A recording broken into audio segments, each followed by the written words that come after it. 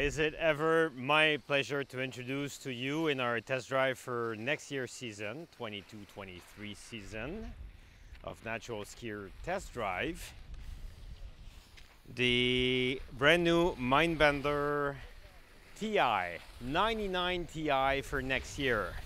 And when I say it's my pleasure to get a big smile back on my face, because the first time I did try the Mindbender in the first year it came out,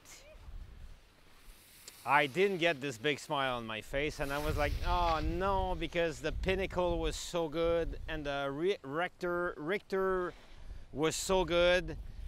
And now the Mindbender is super good. As today it is icy, icy hard pack on the grooms here in Saint-Sauveur. The uh, 99 Ti is able to handle this and cope with this with ease and fun and power. And right now it's a 184 so it's a lot more ski than I used to have. And then it becomes a player in the big leagues of the Mantra.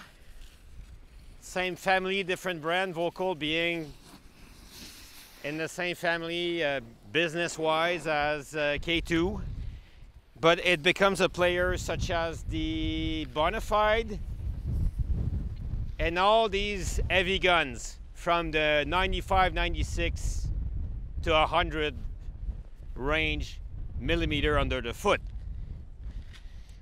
And this Mindbender, first of all, is super cool looking with this uh, camouflage type being 134, 90, and 120. I'd say the radius is around 18 from my field to it.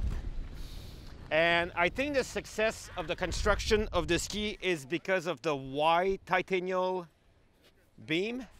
And you can see that they came back to what was the success of the Pinnacle before is this titanium chassis that you see in a 3D profile on the outside, then full titanium under the binding as you push on your edges, and then behind it is only concentrated in the inside of the ski to maybe have a tail that releases uh, easier to turn. At the end of the day, do we, we really care if how it is constructed, yes or no? The only thing that matters is how is it built on the how is it built and how is it make me feel when I'm on the snow with it. Do I want something else in my feet or I just want this in my feet? And I'm very much surprised to see how stronger it is from the tail. It used to be very, very soft on the tail. And for a guy who used to ski race skis, where we, we use a lot the tail of our skis to accelerate in the turn, now it seems and look a bit stronger on the back of the ski because of the way it is built. All right.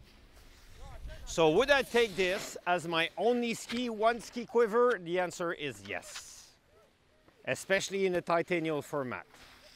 Would I take this to Lake Tahoe to ski the grooms, yes, to ski in the moguls, yes, to ski in the bowls, yes, yes, yes, yes, yes. So for me, the Mindbender is a great, great ski for the next season.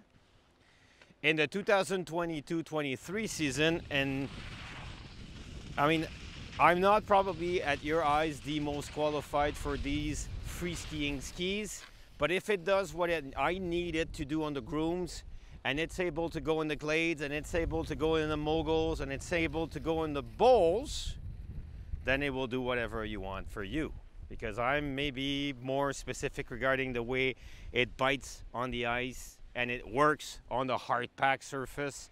And if I want to open the machine and do big long turn at Tremblant from top to bottom with a big smile in my face, the Mindbender is able to cope with that very well.